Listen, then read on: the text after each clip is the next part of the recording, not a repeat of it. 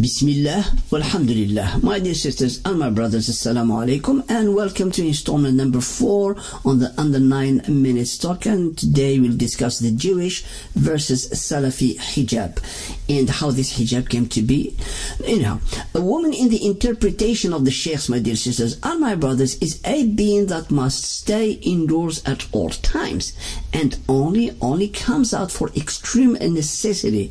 And if she could delegate that necessity to somebody else, then she must do it. Otherwise, she sins. In other words, if somebody else can do a job on your behalf and you go do it yourself, you sin. I'm not saying this, I'm just reporting what has been said and what's in our books. This extreme orthodox thinking created another far more dangerous act, and that is an adult woman is at the mercy of any male in her family family according to her relationship with that person there. So if she's married, it's the husband, and if she's not married, it's her brother, her father-in-law, uh, her uncle, and all kind of stuff. If a mother is married and the house, uh, the husband is away for whatever reason, then it is her son that takes precedence, and the kid becomes the manager of the woman, and this is what they call haqqul wisaya, the right of uh, uh taking care of caring about the woman and the woman must follow that okay? So the more a, woman is a muslim to a t the more her child runs her life for her. And their excuse as i said is that women are deficient in their intellect and mind and everything. And they mean by that that the woman decisions are and thinking process are limited. They are half as of the male. And as such like a small child she cannot make correct decision Actually, her male child is more complete than she could ever dream of being. In the human made Islam, and all this is a human made Islam, Allah is innocent 1000%. Okay? But anyhow, the, this human-made Islam, the huge majority of women are intellectually raped. Yes, there is the sexual rape, the physical rape, okay? But women in Islam are intellectually raped. They are programmed as a female. You see a, a doctor, a woman who studies to become a doctor, and then she marries a man and she becomes at his mercy. That's it. All her education gets away, and that's the power of indoctrination is when you brainwash the brain of somebody. Of course, this is an absolute stupidity, uh, the least I can say, because Allah did not make Islam for this, the mercy to mankind.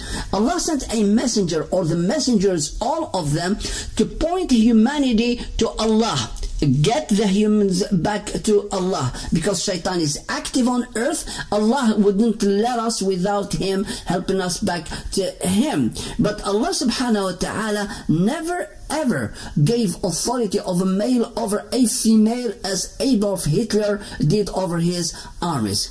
But then again, why would the Jewish women come into existence in our life?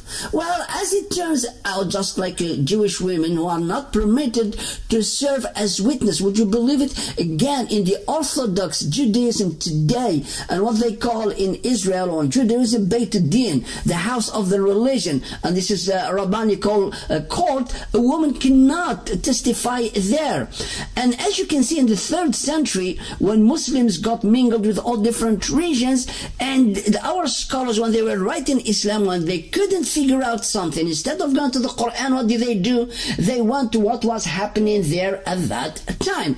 Take, for example, this idea of a man over a woman. The, the idea of a woman submitting to a man is the Old Testament in Genesis chapter 3, verse 6. 16, it reads the following the translation. To the woman he said, i.e. he is being Allah. He tells her, I will greatly multiply your pain in childbirth because Allah here accuses the woman for betraying Adam. Again, that's why you see there is no kind of uh, predestination. Because if Allah has written that Eve should behave the way she did, why is He blaming her? You see what I mean? But anyhow, so He tells her that He will greatly multiply her pain in the childbirth, and also He tells her, in pain you will give birth to children. Yet your desire and longing will be for your husband, and He will rule with authority over you and be responsible for you. Well, following this kind of text, a torrent of copycat laws were forced upon us Muslims from our very own scholars that we trusted. The Jewish have a very stringent and strict set of laws from going to the toilet to having sex with your partner. Take a look at the Q, uh, Q&A by the Jewish couple. Yeah, go on the internet and do research. For example, how sex positive are Orthodox Jews? Look at the answer of the rabbi that he gives them. He says, when sex is done within marriage and according to the rules, very positive. But there are quite a lot of rules. So just to enjoy sex with your partner, there are lots of rules. Can you imagine that? So, and this has rubbed onto us Muslims. We can't have sex without the lights being off. We have to be under a blanket and you must not enjoy it. You must not make sounds. You must not do this. You must not talk. All those things rubbed on us from Judaism. The, take another matter that is extremely, extremely scary and that is women and menses and how all the issues of women's period in Judaism got transferred to us and they were packaged in such a way that they come from Islam.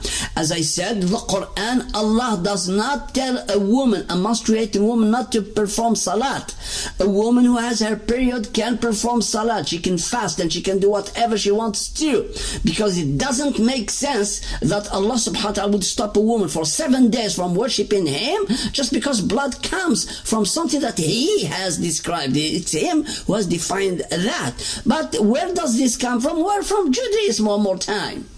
Okay, God, Jewish women, when they are in doubt about their menses, you know what they do? They take their underwear, their panties, they take them to the rabbi for him to look at what her vagina has secreted, what has come out of the vagina, and only him tells her if she is pure or not. Well, of course, our sheikh couldn't go to that extreme. Imagine you asking a sheikh a question about your menses and your periods, and he tells you, send me a picture of your underwear, and then figure yourself. Well, it's very embarrassing. Now, imagine a Jewish woman taking her underwear to the rabbi that he tells her about her uh, ruling, uh, if she is pure or not. Well, this is in the Orthodox Judaism.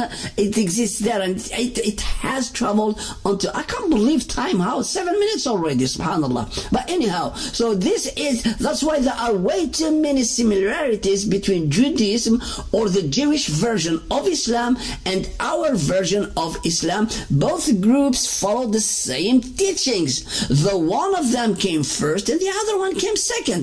Guess who came first? Well, you've guessed it. It's Judaism that came first. And this is how we ended up.